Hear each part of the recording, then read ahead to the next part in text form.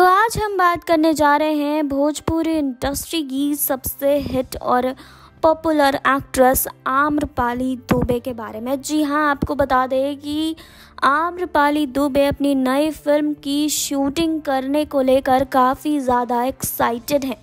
जी हाँ आपको बता दें कि उनकी नई फ़िल्म की शूटिंग स्टार्ट हो गई है।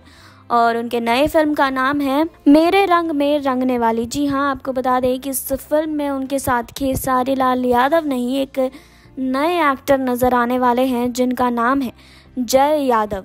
आपको बता दें कि इस फ़िल्म में उनके साथ ये एक्टर नज़र आएँगे और इस फ़िल्म की शूटिंग भी स्टार्ट हो चुकी है।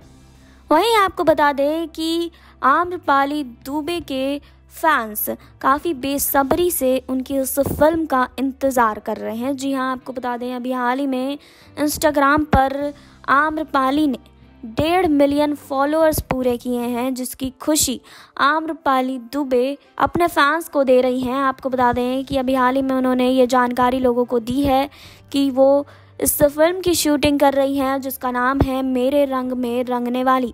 और जल्द ही ये फ़िल्म आप सबके बीच आने वाली है तो आप कितने एक्साइटेड हैं हमें कमेंट बॉक्स में ज़रूर बताइए। बाकी और खबरों के लिए जुड़े रहिए हमारे साथ। नेक्स्ट नाइन भोजपुरिया से सुरभि की रिपोर्ट